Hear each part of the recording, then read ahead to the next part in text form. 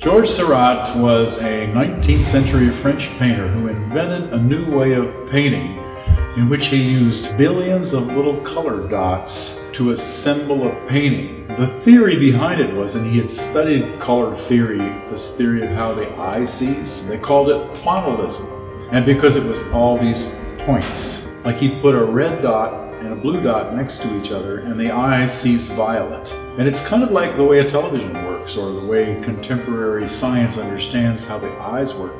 But he was way, way, way ahead of his time in discovering this new art form. The island on the Grande Jatte is the masterpiece around which Sunday in the Park revolves. He was such a revolution in his time and very much anti-establishment associated with anarchists and people who were against the government at the time. And so he was pretty much completely shunned by the great artists. In fact, artists like Monet and Renoir and Degas, some of these artists refused to be in a show if Seurat was going to be in it. So he really was never seen at the time of his life.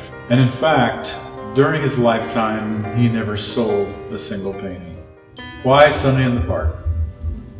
You know, Sunday in the Park has always been a show that's been so close to my heart.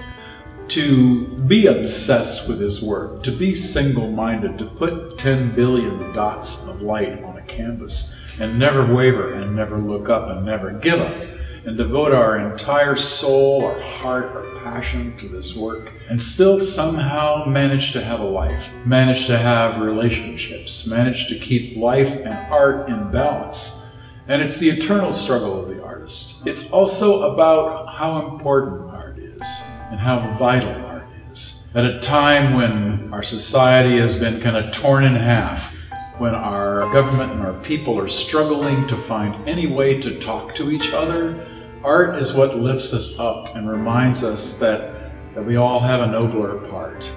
And it, it, it sort of makes us feel like uh, everyday life is important. Every detail of life is important. Every moment of life is holy and beautiful. And that's what Sunday in the Park is all about.